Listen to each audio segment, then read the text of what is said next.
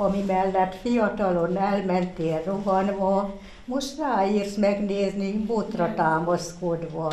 Neves, neves, a bajt soha ne keresd, örülj a mának, holnap már rosszabb is lehet. Versen lepte meg egyik lakótársa Jóna Irén nénit, aki hétfőn ünnepelte 102. születésnapját. Szexárd legidősebb lakójának egy 60 szeletes tortával, virággal és borral kedveskedtek a Kadarka utcai idős otthonban. Az én nagyon szeretem, úgyhogy ami olyan valami emléket tettek rá, azt mi bevittem már levéltárba. Édesapám még van rendőrségű és csoportkép, azt is, legyen a városi, legyen emlék.